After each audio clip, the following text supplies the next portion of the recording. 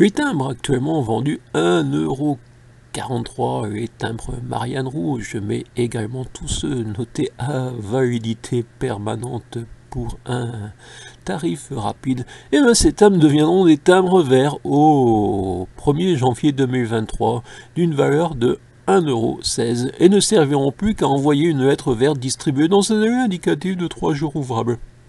C'est la dévaluation choquante que nous présente la Poste qui prétend ainsi moderniser sa gamme de courrier au 1er janvier 2023. La Poste doit racheter les timbres rouges qui vont donc perdre 27 centimes, 18,8% de leur valeur. Ce n'est visiblement pas prévu. Monsieur Pradier, on, on, attend que vous repreniez cette chronique.